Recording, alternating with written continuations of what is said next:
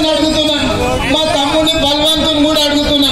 ఎవరికన్నా ఒక దుడ్డన్న తగ్గించిండా కాలేజీల ఫీజులు తగ్గించిండా? ఎవరికైనా పేదలకు ఉచితంగా చదివించిండా? ఎవరికైనా బోయిపల్లి పిల్లలకు నౌకరీ ఇచ్చిండా? మరి ఏమి ఇవ్వకపోయే ఏమి చేయకపోయే ఇక ఆయన ఒకసారి ఎంపీని చేస్తే ఒకసారి ఎమ్మెల్యేని చేస్తే ఓసారి మంత్రిని చేస్తే.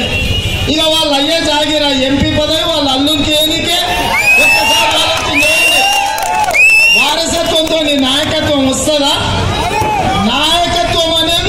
5%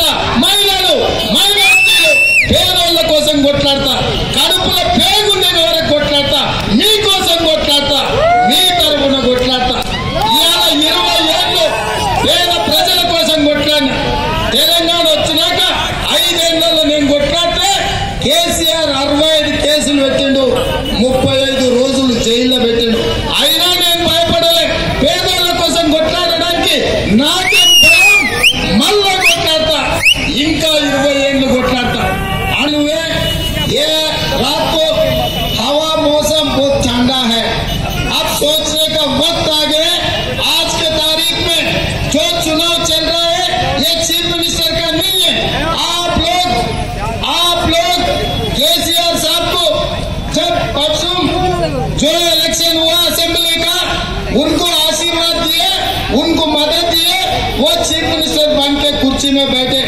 मैं ये पूछना चाहता हूँ हमारे मुसलमान भाइयों से, भाई सोचो, ये केसीआर साहब किसके शाकिर थे किसके साथ में मिलजुल के काम कर रहा है? ये प्रेसिडेंट इलेक्शन आए तो चुनाव आए तो मोदी जी को मदद दिए। वाइस प्रेसिडेंट इलेक्शन आए तो मोदी जी को मदद दिए। नोटबंदी आए तो मोदी जी को दिए। जीएसटी आए तो मोदी जी को दिए। वो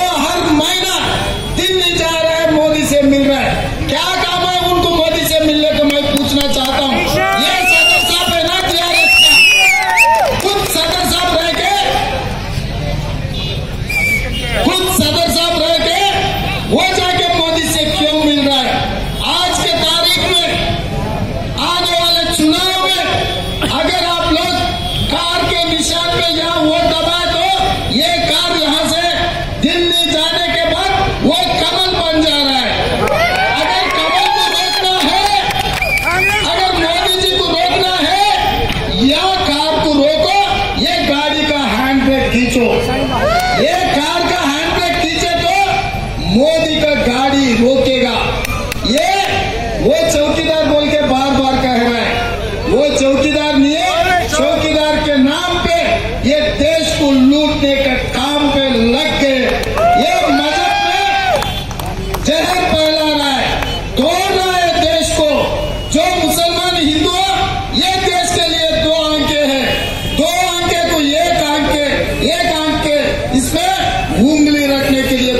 कर रहे ये मोदी जी ने।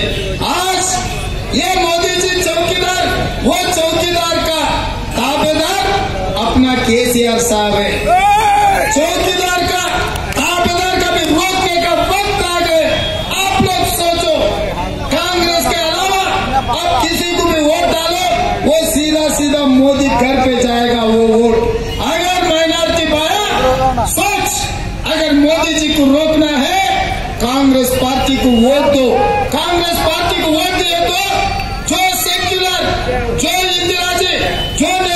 इसीलिए कांग्रेस पार्टी को वोट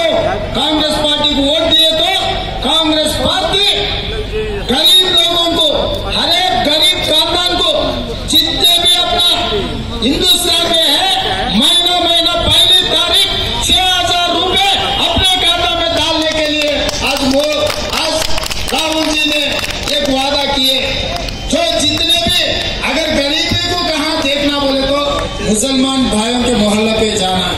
घर घर को देखे तो गरीबी दिखेगा आँखों के सामने।